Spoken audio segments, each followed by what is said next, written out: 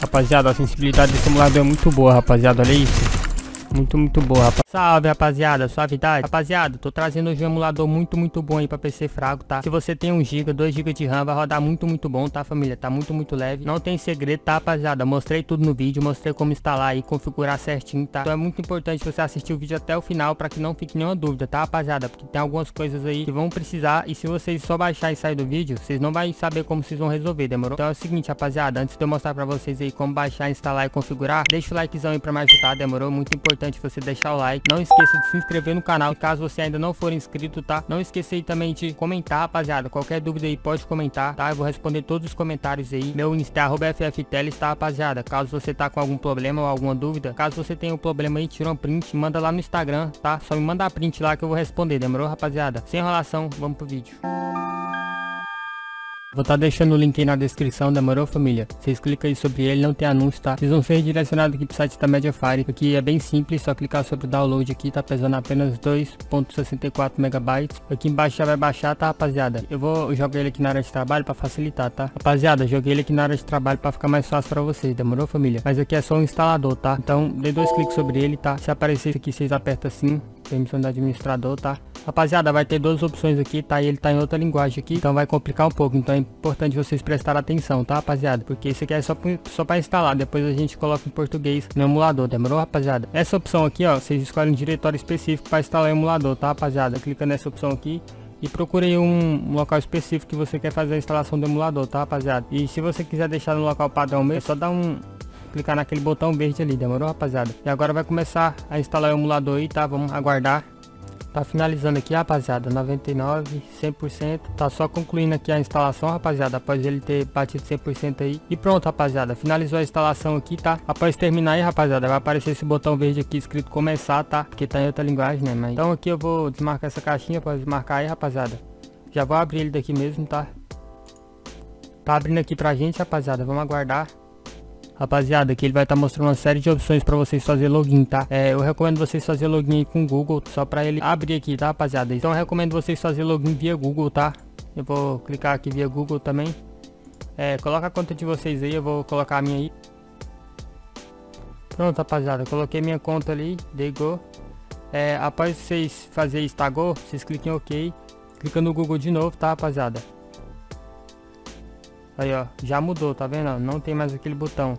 Vocês clicam novamente aqui no Google, tá, rapaziada? Aqui vai estar tá a conta de vocês, clica em cima, tá? Clica em cima da conta de vocês agora, espera. E pronto, rapaziada. Agora vocês vão fazer o seguinte, vocês vão marcar essa opção aqui, tá? De cima, pode marcar ela e clica aqui, ó, nessa opção aqui de baixo, tá? Meu mouse tá, rapaziada. Pode dar um clique, aguarda aí. Dá um ok aqui, tá, rapaziada? Pronto, rapaziada, agora já estamos aqui dentro do emulador. Agora eu vou estar tá mostrando aí como vocês vão fazer para configurar da melhor forma, tá, família? Para ter o melhor desempenho aí, tá?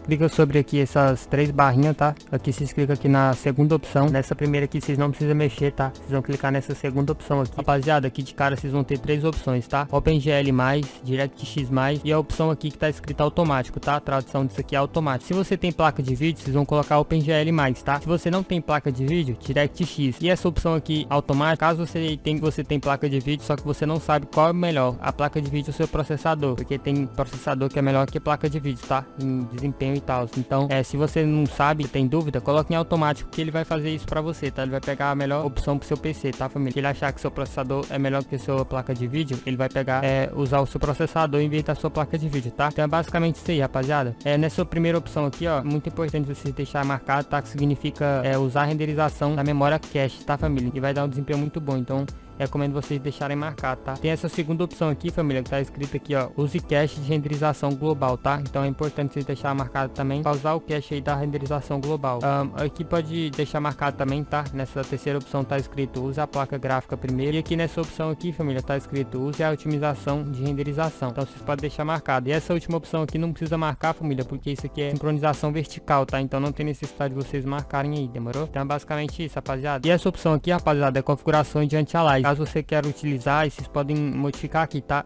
Eu não vou utilizar, então vou deixar padrão, não vou mexer naquela parte ali. Nessa segunda opção aqui, rapaziada, ó, tá em outra linguagem, mas dá pra gente entender. Quando você clica aqui, vocês vão ver, ó, é 512M, é 1024M, 1536M, então isso já significa que isso aqui significa a memória RAM do computador, tá? Que você vai querer utilizar no emulador. Mas aí, caso você tenha 4 GB de memória RAM no seu PC, você vai utilizar apenas 2, tá? Caso você tenha 2 GB só, vocês vão utilizar apenas 1 GB, tá? Que eu recomendo. Se você tem 2 GB, utiliza apenas 1. Se você tiver 1 GB, vai ter que utilizar 1 GB também, tá? Não tem que fazer. Não utiliza esse daqui, ó. Isso aqui já deixa o PC. O mínimo que você pode colocar aqui é 1 GB, tá, família? Coloca 1 GB aí, o mínimo. Se você tiver 2 GB, você pode até usar 1536 MB, tá? Que eu acho que vai ficar bom. Demorou, rapaziada? Eu vou deixar 1536, que eu acho que vai ficar perfeito, demorou? E aqui, ó, não tem segredo, tá? Aqui é CPU, aqui é basicamente os núcleos do seu processador, tá? Que vocês podem colocar quantos núcleos você quer utilizar no emulador. Se você tem 8 núcleos, rapaziada, vocês vão colocar 4. Se você tem 4, coloca 2. Se você tem 1, vocês vão ter que utilizar 1, não tem o fazer. Então, sempre trabalhando na metade do que você tem, tá? Rapaziada, aqui em resolução aqui, ó, podem ver que por padrão tá 1366 por 768, tá? No caso aqui, ó, essa opção aqui que eu recomendo muito, né, que é HD 1280 por 720, opção HD, recomendo muito aí vocês utilizar, tá? Caso seu PC é fraco, família, vem aqui nessa última opção aqui, ó, vai ser a única opção aqui que vai estar tá em outra linguagem, tá, família? Que não vai estar tá em números. Clica sobre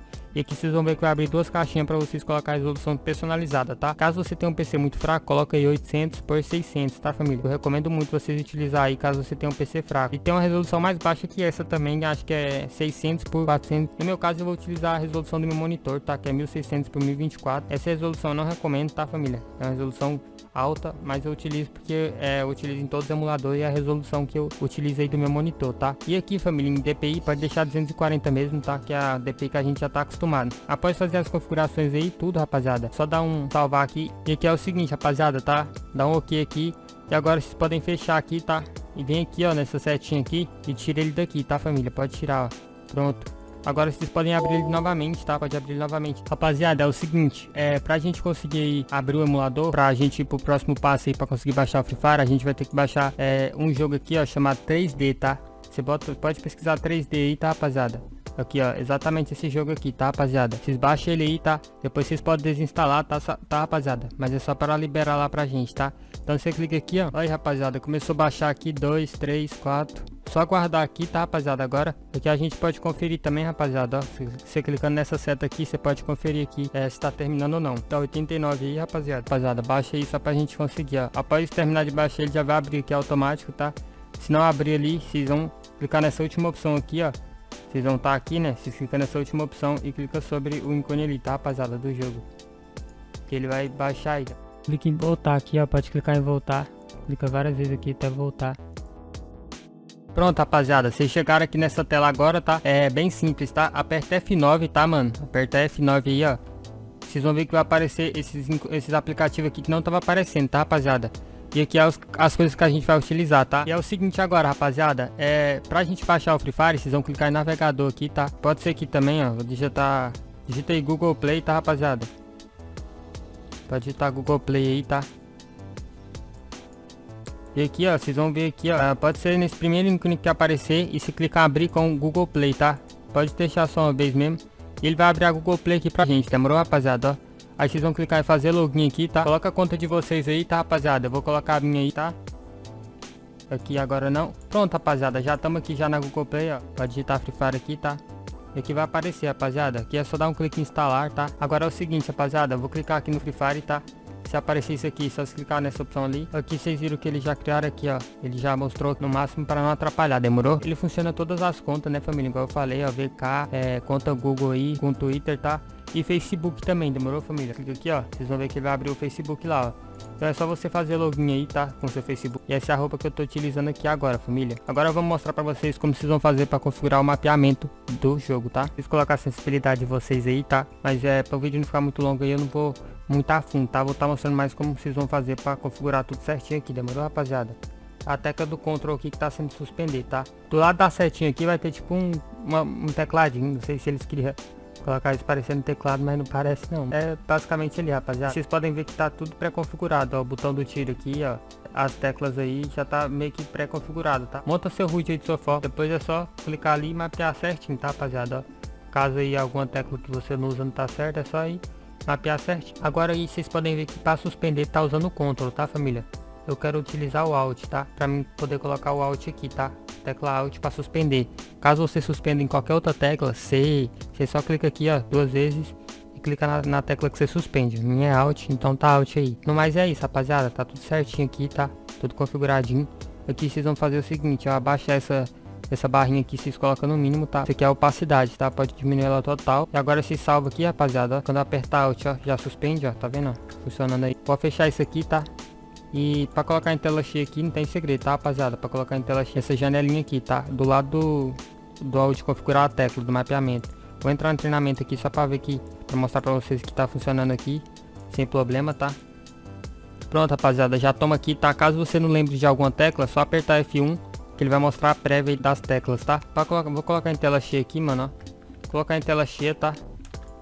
Rapaziada, o vídeo foi esse, espero que tenha ajudado geral, tá? Agradeço muito de coração quem chegou até o final do vídeo, mano. Comenta aí qualquer coisa, mesmo que você não tenha nenhuma dúvida, que você tenha feito aí, deu tudo certo, mesmo que você não tenha nenhum problema, nenhuma dúvida, rapaziada. Comenta aí pra me ajudar, tá? É importante vocês comentar. Não esqueça de deixar o like, se inscrever no canal se ainda não for inscrito. Lembrando, tem diversos outros vídeos aí de emulador no meu canal, só ir lá acompanhar. É, recentemente eu fiz um vídeo de otimização também, então seu PC não anda muito bem, anda travando. Olha esse vídeo aí que é o penúltimo vídeo que eu postei, tá? Vocês vão ver que vai melhorar bastante, demorou família? Então é isso e até o próximo.